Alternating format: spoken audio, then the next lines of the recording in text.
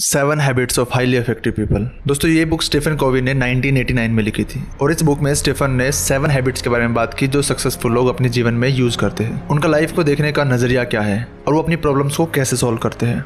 दोस्तों हैबिट्स ही है जो हमें बनाती है, हमारा फ्यूचर डिसाइड करती है। और आज हम जो कुछ भी है, वो हमारी करंट हैबिट्स या पहले की हैबिट्स की वजह से है। अगर हमें जीवन में कुछ बेहतरीन करना है तो हमें अपनी हैबिट्स को बेटर करना पड़ेगा और अच्छी हैबिट्स को अपनाना पड़ेगा। स्टेफन ने इस बुक को तीन पार्ट्स में डिवाइड किया है। नंबर वन प्राइवेट विक्ट्री इस पार्ट के अंदर तीन हैबिट्स आती है। नंबर टू पब्लिक विक्ट्री इस पार्ट के अंदर भी तीन हैबिट आती है। And number three continuous learning sharpen the saw इस पार्ट में एक हैबिट आती है। दोस्तों, इस वीडियो में हम प्राइवेट विक्ट्री की बात करेंगे, यानी तीन हैबिट्स के बारे में जानेंगे। हैबिट्स के बारे में जानने से पहले हम दो इंपॉर्टेंट चीज़ों को जान लेते हैं। नंबर वन इन आउट दोस्तों, अगर हमें जीवन में सक्सेसफुल होना है तो हमें खुद को इंप्रूव करना होगा। इट मीन्स हमें अंदर से बाहर की तरफ़ जाना होगा। पहले खुद को इंप्रूव करना होगा धीरे धीरे हमारे आसपास के लोग भी इंप्रूव हो जाएँगे। दूसरों को करेक्ट करने की कोशिश मत कीजिए। पहले खुद करेक्ट होइए, फिर दूसरों को करेक्ट करने की कोशिश कीजिए। नॉर्मली दो तरीके के एथिक्स होते हैं। पर्सनैलिटी एथिक्स और कैरेक्टर एथिक्स पर्सनैलिटी एथिक्स वाला इंसान हमेशा दूसरों को जज करता रहता है, दूसरों को सही करने की कोशिश करता रहता है। उनमें कमियाँ निकालता रहता है, लेकिन वह खुद की तरफ़ नहीं देखता है। वही दूसरी और कैरेक्टर एथिक्स वाला इंसान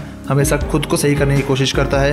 अगर उससे गलती होती है तो उसको एक्सेप्ट करके उसको इम्प्रूव करने की कोशिश करता है। दूसरों को जज नहीं करता है और हमेशा अपनी लाइफ का कंट्रोल खुद के हाथ में रखता है। दोस्तों सेकेंड इंपॉर्टेंट चीज़ है पैराडाइम शिफ्ट दोस्तों, बचपन से ही हमारे मन में कुछ ना कुछ मेंटेलिटी बन गई है। चाहे वो सही हो या गलत हो, जैसे बिल्ली के रास्ता काटने से कुछ ना कुछ हो सकता है, ऐसा सबको लगता है, लेकिन ऐसा किसी के साथ नहीं होता है। ऑथर ने अपना रियल लाइफ एग्ज़ाम्पल बताया है और उन्होंने बताया किस तरीके से पैराडाइम शिफ्ट होते हैं, किस तरीके से आपकी मानसिकता तुरंत बदल जाती है। जब आप पूरी तरीके से सिचुएशन को समझते हो, सामने वाले को पूरी तरीके से समझ लेते हो। एक बार स्टेफन एक रेस्टोरेंट में गए हुए थे और वहाँ पे काफ़ी शांति थी। सब लोग बड़े आराम से अपना खाना खा रहे थे, लेकिन अचानक से रेस्टोरेंट में एक पिता और दो बच्चे आ जाते हैं। बच्चे जैसे ही अंदर घुसते हैं, वो शोर शराबा मचाने लग जाते हैं इधर उधर भागने लग जाते हैं। जिससे पूरे रेस्टोरेंट में डिस्टर्बेंस हो जाता है। और उनके पिता चुपचाप एक टेबल पर जाके बैठ जाते हैं, लेकिन वो बच्चों को रोकने की कोशिश नहीं करते। ये सब देख स्टेफन को बहुत गुस्सा आता है और मन ही मन सोचते हैं कि ये कैसा पिता है, जो अपने बच्चों को संभाल नहीं सकता। आराम से बैठा हुआ और उसके बच्चे सबको डिस्टर्ब कर रहे हैं। ये क्या कर रहा है? लेकिन जब बच्चे बहुत ज़्यादा शोर मचाने लग जाते हैं और डिस्टर्बेंस ज़्यादा हो जाती है तो स्टेफन से रुका नहीं जाता। तो स्टेफन जाके उस इंसान से पूछता है, अरे भाई, अपने बच्चों को संभाल नहीं सकते तो लेके क्यों आए हो रेस्टोरेंट के? स्टेफन उस पर गुस्सा होने लग जाता है। तो वह आदमी थरथराती हुई, धीमी सी, कांपती हुई आवाज़ में बोलता है कि, ओह हाँ मुझे कुछ तो करना चाहिए। मुझे समझ नहीं आ रहा। एक्चुअली अभी हम हॉस्पिटल से आए हैं और एक घंटे पहले ही इनकी मम्मी की डेथ हो गई है। मुझे समझ नहीं आ रहा कि मैं क्या करूँ। ये सुनकर स्टेफन चौक जाता है। स्टेफन का पैराडाइम शिफ्ट हो जाता है। अब तक जो उनके माइंड में था, वो सब खत्म हो जाता है और उस इंसान के प्रति सहानुभूति आ जाती है। तो ज़रूरी है सामने वाले की सिचुएशन को समझना, सामने वाले के बारे में जानना और उसके बाद ही कुछ डिसाइड करना। इसी को पैराडाइम शिफ्ट कहते हैं। दोस्तों, अब बात करते हैं तीन हैबिट्स की जो हम इस वीडियो में देखने वाले हैं। पहली हैबिट है प्रोएक्टिव बनना। दोस्तों, इंसान हमेशा तरक्की पे ध्यान देता है सेल्फ अवेयरनेस पे ध्यान देता है और इंसानों की यही बात हमें जानवरों से अलग करती है कि हम सोच समझ सकते हैं सेल्फ रियलाइजेशन कर सकते हैं और जानवरों के अंदर सेल्फ रियलाइजेशन सेल्फ अवेयरनेस नहीं होती है। अगर मैं आपसे क्वेश्चन पूछूँ कि आज आप जो भी हो, चाहे वो आप खुश हो, दुखी हो, सफल हो, असफल हो तो आपकी सिचुएशन का कौन जिम्मेदार है? प्रोएक्टिव लोग वो होते हैं जो जानते हैं कि जो मैंने डिसीज़न कल लिए थे, जो हैबिट्स मेरी कल थी, जो काम मैंने पहले किए हैं, उसी की वजह से आज मैं इस सिचुएशन में हूँ। आज आप जो भी हो, खुद की वजह से हो।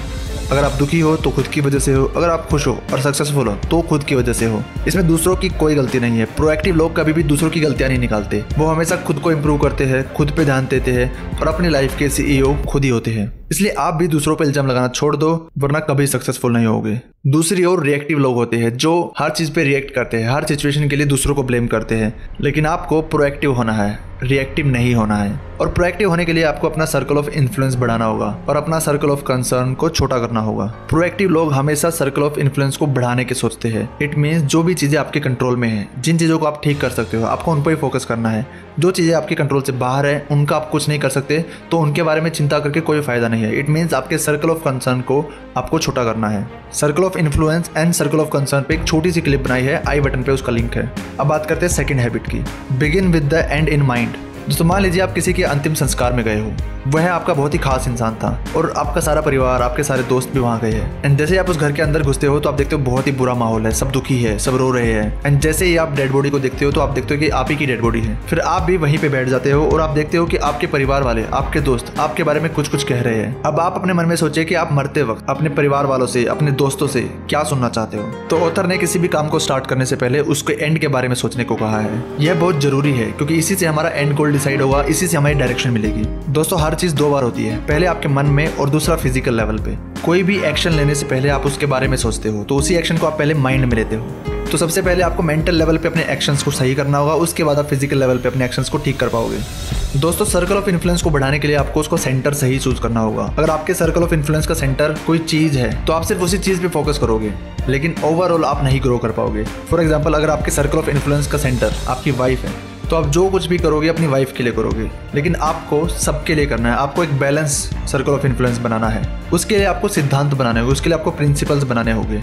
जो सबके बारे में सोचे, सबको बैलेंस करते हुए चले। क्योंकि प्रिंसिपल्स को चेंज नहीं किया जाता। प्रिंसिपल्स हमेशा फाउंडेशन होती है। तो अगर आपके प्रिंसिपल सही है तो आपका सर्कल ऑफ़ इन्फ्लुएंस बढ़ता जाएगा और आप एक डायरेक्शन में आगे बढ़ते जाओगे। Habit number three put first thing first दोस्तों, ये हैबिट बहुत ज़रूरी है। क्योंकि इसी हैबिट की मदद से आप अपने पूरे दिन को अच्छे से शेड्यूल कर पाओगे। आप हाई वैल्यू वाले काम कर पाओगे और लो वैल्यू वाले काम को निकाल पाओगे अपने लाइफ से। जरा सोचो आप अपना टाइम कैसे स्पेंड करते हो। I am sure ninety percent लोगों को नहीं पता चलता कि उनका दिन कैसे चला जाता है स्पेशली छुट्टी वाला दिन। तो ऑथर ने इसमें टाइम मैनेजमेंट के लिए एक मैट्रिक्स बताया है। दोस्तों टाइम मैनेजमेंट मैट्रिक्स को चार पार्ट में डिवाइड किया गया है। नंबर एक urgent not urgent not important और इम्पोर्टेंट इंपॉर्टेंट और अर्जेंट पार्ट में वो चीज़ें आती है, जैसे कोई क्राइसिस हो गया, कोई अर्जेंट सिचुएशन हो गई, जिसमें आपको इन्वॉल्व होना पड़ेगा। इंपॉर्टेंट और नॉट अर्जेंट वाले टास्क आपके लिए बहुत ज़रूरी है, क्योंकि आपको कोई अर्जेंसी नहीं है, लेकिन ये टास्क आपके जीवन में वैल्यू डालते हैं, आपको अपने गोल की तरफ़ बढ़ाते हैं। तीसरे क्वाड्रेंट में आता है नॉट इम्पोर्टेंट बट अर्जेंट ये आपको मिनिमाइज करने की कोशिश करनी है, क्योंकि ये काम बहुत ज़रूरी नहीं है, लेकिन अर्जेंट है। इट मीन आपने इस काम को पहले नहीं किया और अब बिल्कुल डेडलाइन के टाइम आप इस फोकस कर रहे हो। एंड फोर्थ क्वाड्रेंट में आता है नॉट अर्जेंट नॉट इम्पोर्टेंट मुझे लगता है दोस्तों, ये काम तो आपको करना ही नहीं चाहिए। जैसे सोशल मीडिया यूज़ करना, फालतू के टाइम पास करना गेम्स वगैरह खेलना। तो दोस्तों टाइम मैनेजमेंट मैट्रिक्स के ऊपर मैंने बहुत ही डिटेल्ड वीडियो बनाई है। अंकुर वारी को सर का कोर्स भी लिया था। उसमें भी इस मैट्रिक्स के बारे में बात की है। अगर आपको टाइम मैनेजमेंट मैट्रिक्स को डिटेल में समझना है और उसको अपने जीवन में यूज़ करना है तो लेफ़्ट वाली वीडियो पर क्लिक करके आप उसको देख सकते हो, वरना राइट वाली वीडियो भी बहुत काम की है। मिलते हैं पार्ट टू में।